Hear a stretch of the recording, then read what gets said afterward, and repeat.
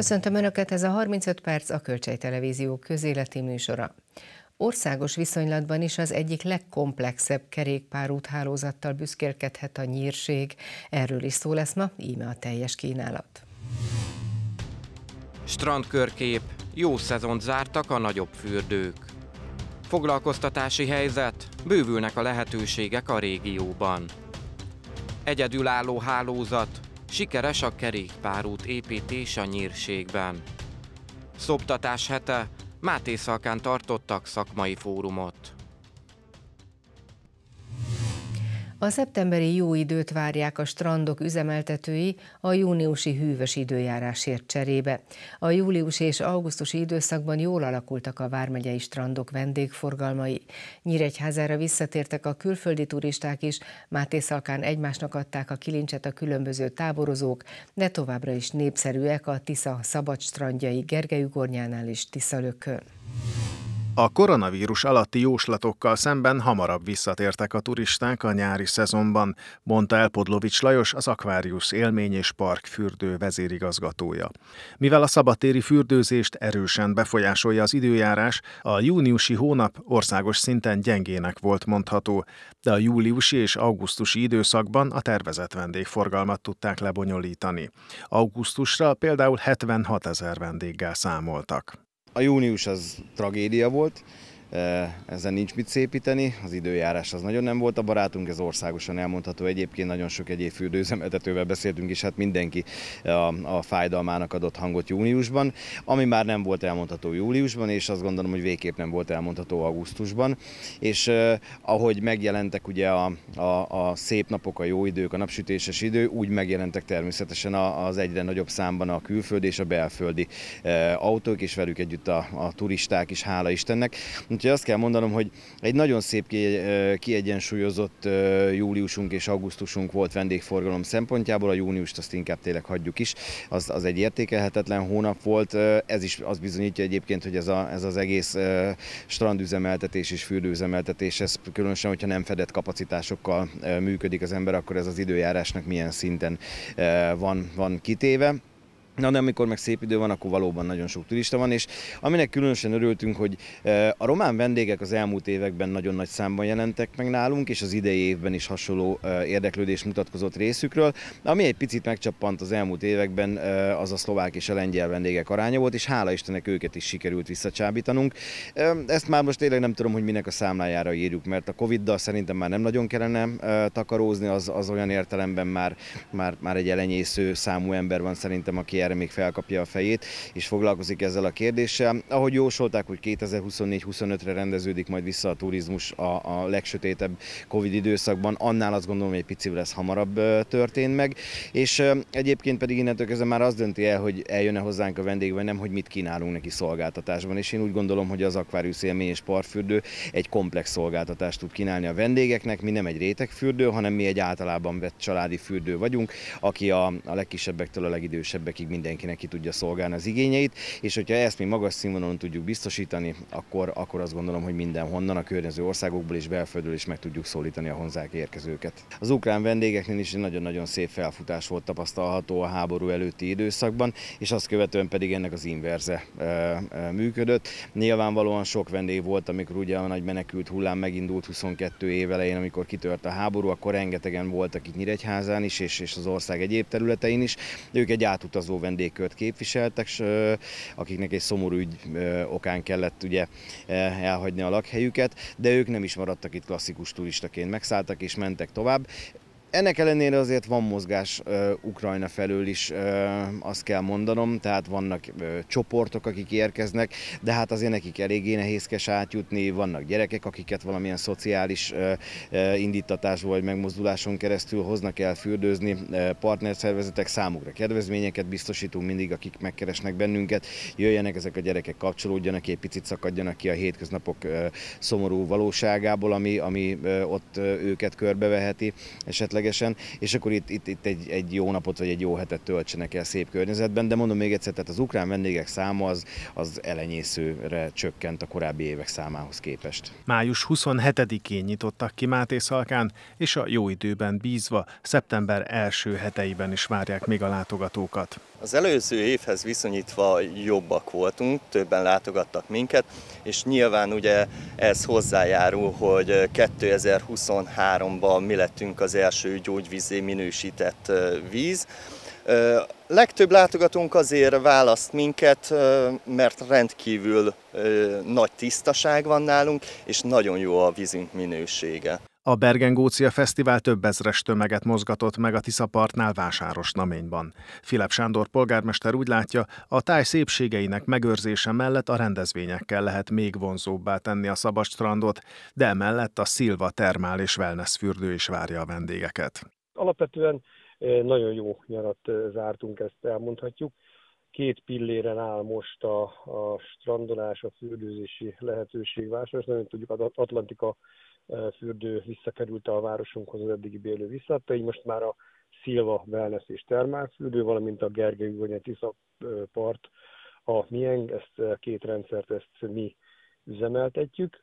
Elmondhatom, hogy Gergely Gonyára, a Tiszaparti részre is kiemelten odafigyelünk. Itt alapvető gond a rengeteg nagyra nőtt fa, a nyaralótelkek és a nyaralók között, ezek visszavágása folyamatos, de egyszerűen nem tudunk oda ilyen, hiszen ez 100 150 millió forintba kerülne, úgyhogy apránként haladunk ilyen évenkénti 10-20 millió forintos beruházásokkal, favágásokkal, sokszor már alpinistákat kell hívnunk, de alapvetően a Tiszapart maga. Gyönyörű volt július közepétől, most aztán annyira szép a part, hogy, hogy öröm lemenni.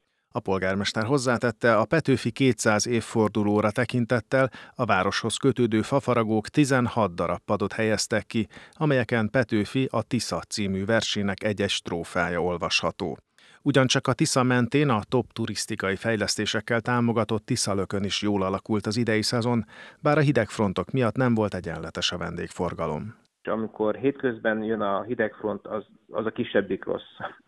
De általában, aki abban reménykedik, hogy ez így lesz, az, annak csalódnia kell, mert most ezen a nyáron volt jó néhány olyan hétvége, hogy akkor romlott az időjárás, és ugye a péntek, szombat, vasárnapi forgalmak azok magasan verik a hétközi forgalmat, úgyhogy ezek a problémák merültek fel, különben a strandon, akik oda látogatnak, ez azt jelenti, hogy szombat-vasárnap Hát általában majdnem ki kell rakni, a, majdnem mindig ki kell rakni a teltházban, ez egy 800 főt jelent. Körülbelül ilyen hétvégék voltak, hogy az időjárás rendben volt, és, és a sok szolgáltatással együtt azt gondolom mindent megkapnak az oda látogatók. Gömze Sándor polgármester szerint a melegebb szeptemberi napokon is folytatódhat a strandturizmus Tiszalökön, ahol a fürdőzés mellett más szolgáltatások is várják az ideérkezőket. Csúcsot döntött a nyári diák munkarészvétel országosan és Szabolcs-Szatmár-Bereg vármegyében is. A korábbi évekhez hasonlóan a diákok 80%-át az önkormányzatok foglalkoztatták, de a programban résztvevők jelentős számban dolgoztak a vendéglátásban és a mezőgazdaságban is. A részletekről és az Észak-Kelet-Magyarországi régió munkaerőpiaci aktualitásairól Comba Sándor foglalkoztatáspolitikáért felelős államtitkár beszélt hosszabban televíziónknak.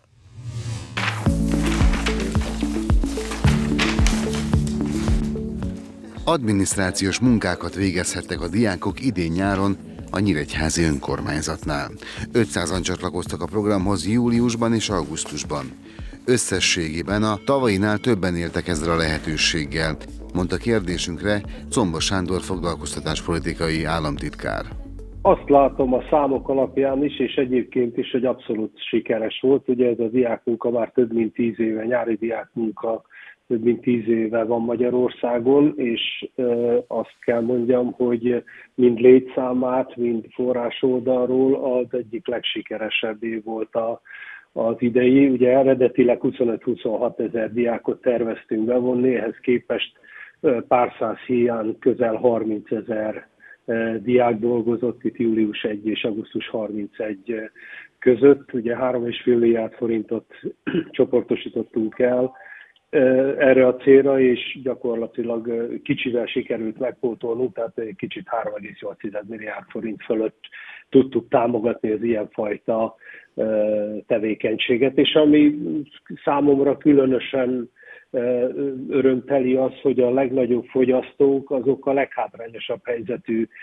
térségekből érkeztek, tehát Szabolcs, Szatmárbereg, Borsod, a Bói-Zemplén, illetve Baranya megye volt az a három megye, ahol a legnagyobb létszámban vettek részt a fiatalok. Amit a diákmunka keretében, a nyári diákmunka keretében támogatásként ugye tudunk adni, az az önkormányzatoknak szól elsődlegesen, most is úgy nagyjából 80, közel 80 százaléka itt helyezkedett el a fiataloknak, de emellett a vendéglátásban, tehát felszolgáló szakács cukrász munkakörben, vagy a mezőgazdaságban is lehetett ilyen módon támogatott feltételekkel igénybe venni. Nagyon széles a a skála, ugye itt az administratív irodai munkától kezdve az animátoron át, ugye ott akik nyelvtudással rendelkeznek, ott ugye olyan jellegű munkákat, ahol erre szükség van, de fürdőmester, tehát nagyon, nagyon széles volt a paletta, és az azért is fontos, mert a fiataloknak egy döntő többsége most találkozik először a munkavilágával. Tehát az, hogy,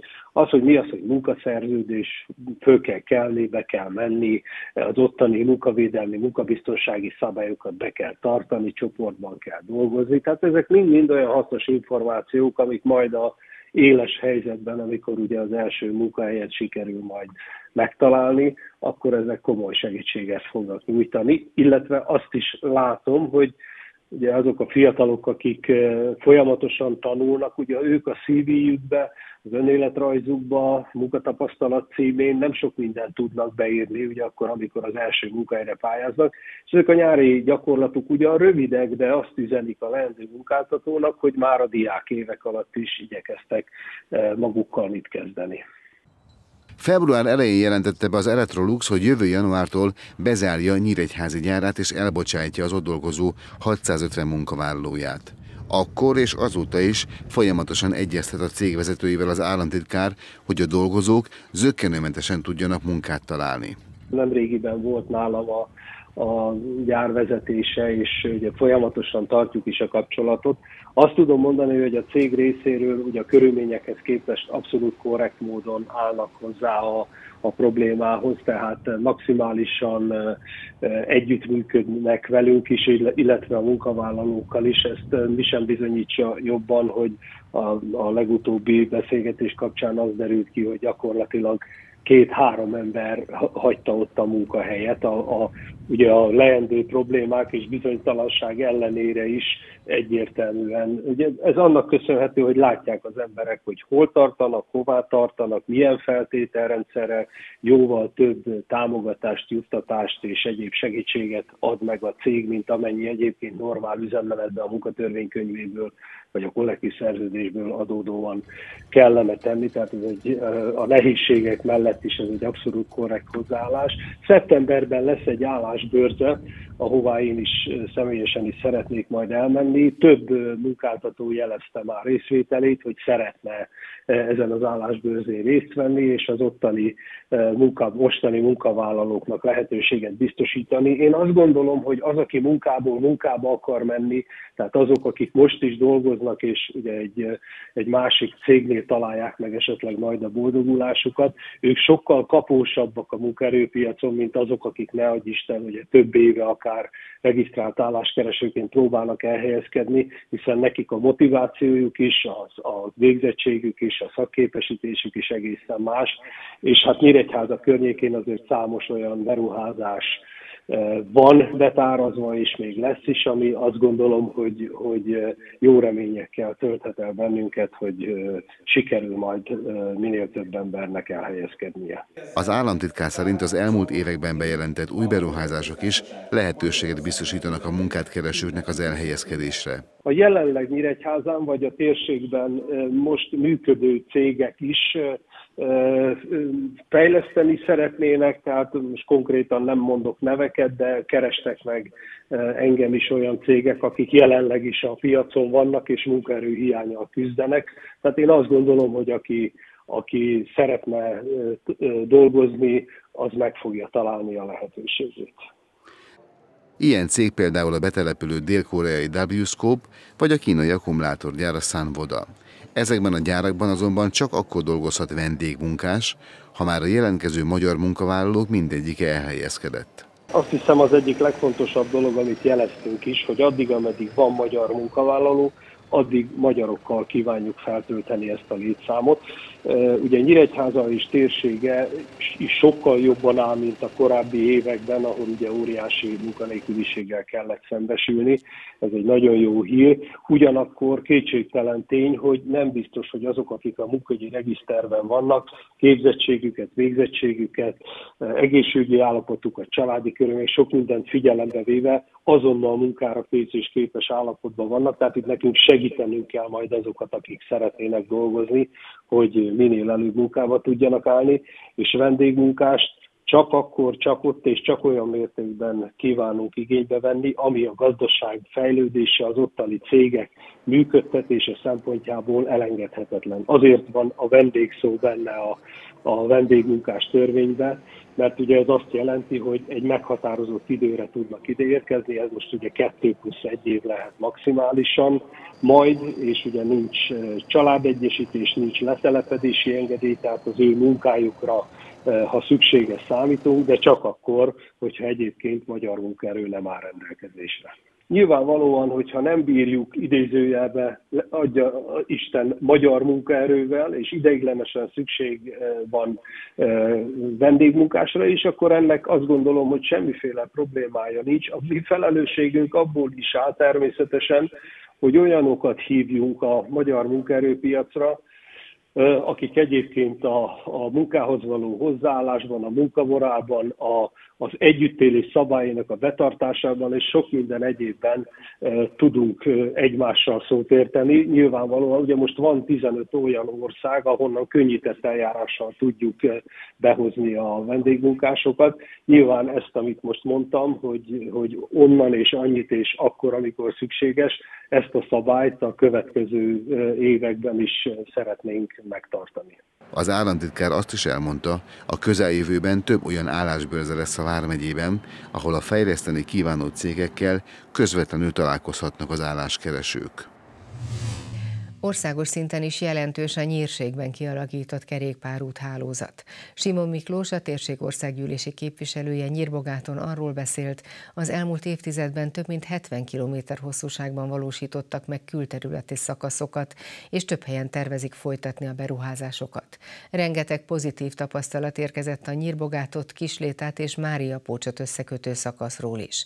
A megépült kerékpárút által a közlekedés nem csak biztonságosabb lett, a rendszeresen sportolók és a kerékpáros zarándokok száma is jelentősen gyarapodott. Kocsis Fülöp érsek metropolita vezetésével érkezett a kerékpáros csoport három évvel ezelőtt Nyírbogát felől a kisléta végén található feszülethez. A pihenő, majd az ünnepélyes átadást követően pedig innen folytatták útjukat Mária Pócsra a résztvevők. A három települést összekötő külterületi kerékpárút több mint 500 millió forintos Európai Uniós forrásból épült meg. Az eddigi tapasztalatokról tartottak projektzáró sajtótájékoztatót az érintett polgármesterek. Simonné Rizsák Ildi Kónyírbogát első embere azt mondta, rengeteg pozitív visszajelzést kaptak a beruházás megvalósítása óta. A biztonságos közlekedés mellett számomra nagyon nagy élmény, hogy az egészséges életmód felé tudtuk terelni a lakosságot. Mióta megépültek a kerékpárutaink, azt tapasztaljuk, hogy kora tavasztól késő őszig, amíg csak járható a kerékpárút, ott vannak a kerékpárosok, a gyalogosok, a gyerekek, akik gördeszkáznak, a kismamák, akik biztonsággal tolhatják a babakocsit, és ez számomra megnyugtató, mert a mozgás jelentőségét nem győzük hangsúlyozni. Pénzes Sándor Kislét a polgármestere is úgy látja, jelentősen fellendült a kerékpározás és a sportolás iránti kedv. Hétről hétre nagy átmenő biciklis forgalmat tapasztalnak a településen. Ezért is szeretnének a közeljövőben belterületen is kerékpárutat építeni. Mindenképpen a legfontosabb szempont a munkába járás. Nagyon sokan ingáznak Mária Pócs Kisléta, Mária Pócs Kisléta Nyírbogát irányába, és a biztonságos közlekedés a legfontosabb. De ami számunkra is a településen a visszajelzések alapján a sportolás. Nagyon sokan használják futás, biciklizés szempontjából, fiatalok, idősek, minden korosztály számára nagyon fontos és ez csak pozitív és élhető a település részére, ilyen visszajelzéseket kaptam. Ami még nagyon fontos lenne nálunk, egy belterületi bicikliútnak a megvalósítása, amit szeretnénk majd a későbbiekben megpályázni, ha lesz rá természetesen lehetőség. Ahogy mondtam az előbb, gyakorlatilag a belterületi útjaink is új aszfaltot kaptak, és az mellé szeretnénk az új bicikliutat még a belterületen megvalósítani a településen. Évről évre többen érkeznek kerékpárral az arándokok a Mária Pócsi kegyhelyhez is. Tehetik ma már ezt szinte minden irányból kerékpárúton az emberek, még idén pedig a Káló Semjén és Mária Pócs közötti szakaszon is megépül a hiányzó szakasz.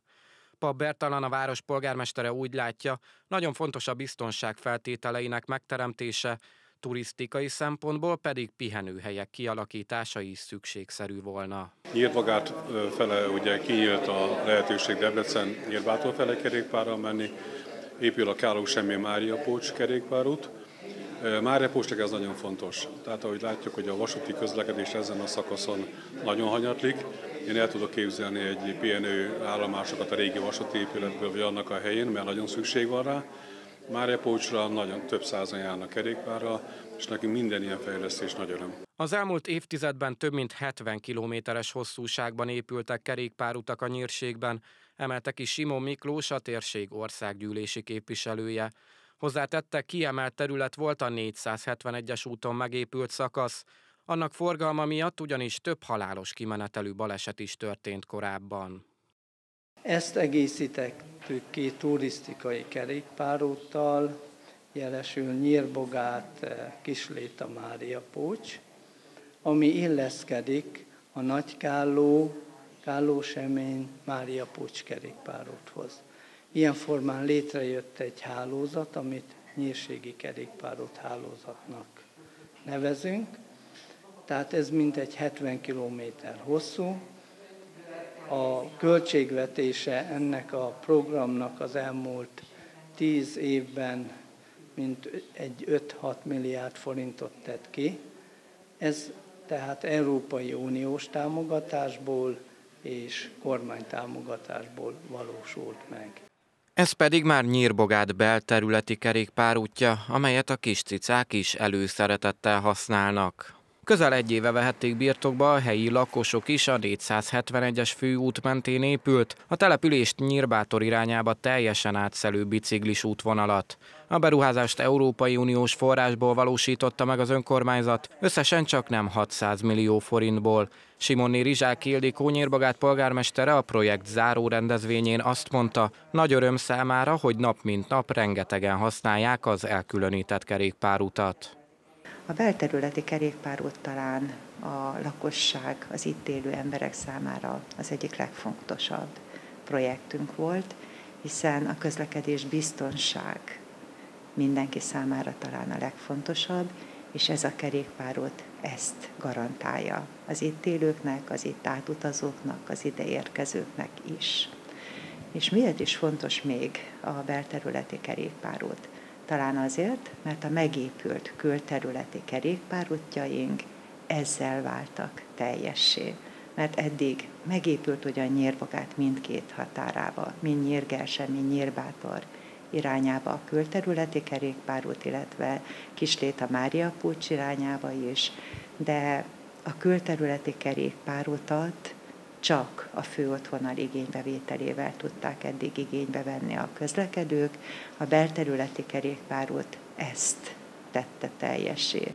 Simon Miklós a térség országgyűlési képviselője hangsúlyozta, a 471-es főút mentén belterületi kerékpárút épült Nyírmihálydiban, Nyírgelsén, Nyírbogáton és Nyírbátorban, Nyírcsászáriban pedig meglévő kerékpárutat újítottak fel.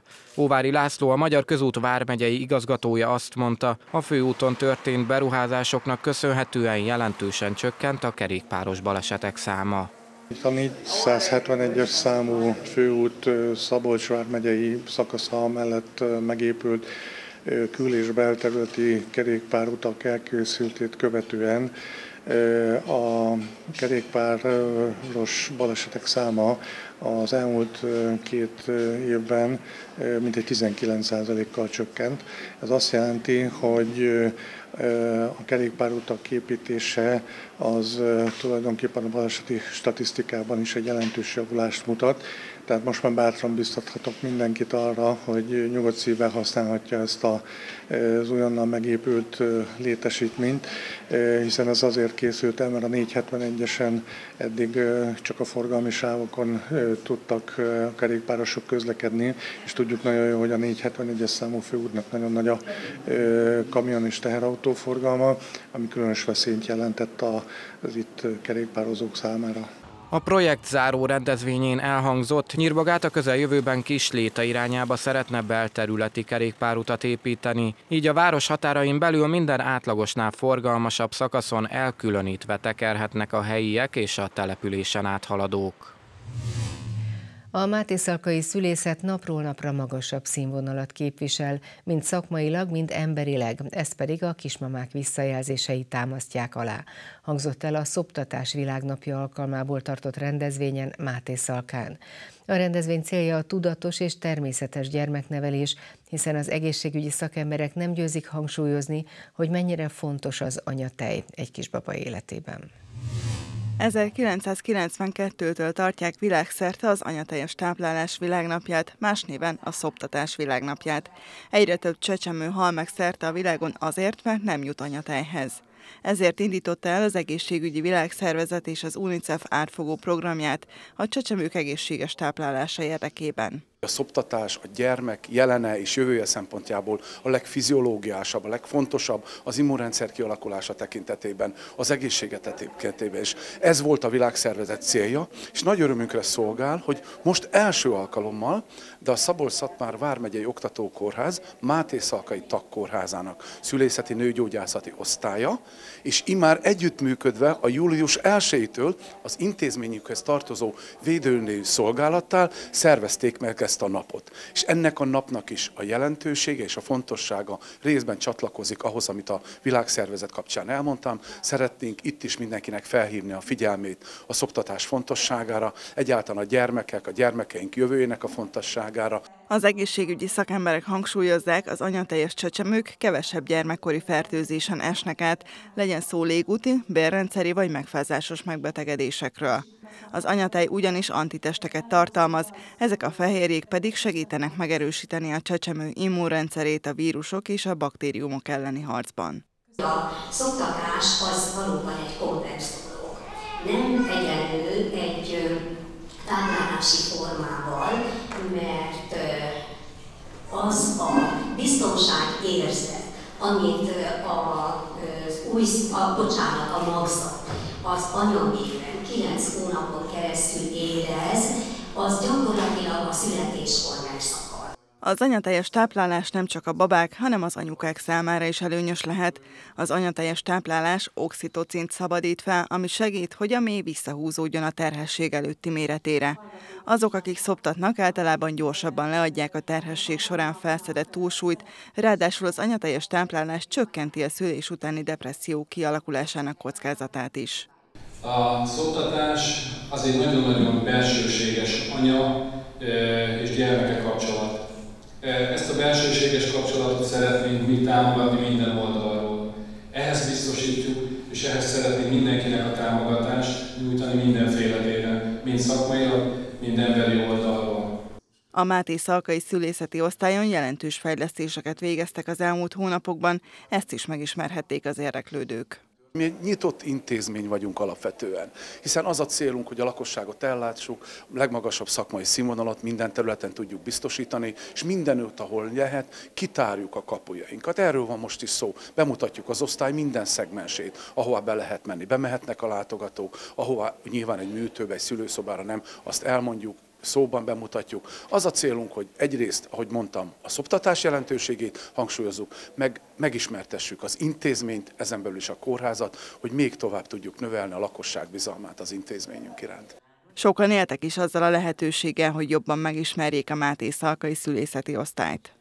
Nagyon örültem annak a kezdeményezésnek, amit Máté Szalkán elindult, hogy lehetőség van arra, hogy betekintést nyerjünk a szülőszobára, újszülött részlegre. Ezt július hónapban meg is tettem, és nagyon pozitív tapasztalataim voltak ezzel kapcsolatban. Tehát mind a, a vezetőszülésznő, mind a doktor úr részéről, aki ott végigvezetett bennünket. Úgyhogy ez egy nagyon nagy lehetőség, és egy nagyon jó dolog, hogyha az embernek menni kell, akkor tudja, hova és hogyan, és kit kell keresni. Az anyateljes táplálás világnapja minden évben más üzenetet hordoz, hogy ezáltal egy-egy szoptatáshoz kapcsolódó témát a kommunikáció középpontjába állítson. 2023-ban ez a Tegyük lehetővé a szoptatást, amelynek során a szoptatás és a foglalkoztatás összeegyeztetésének lehetőségei kerülnek fókuszba.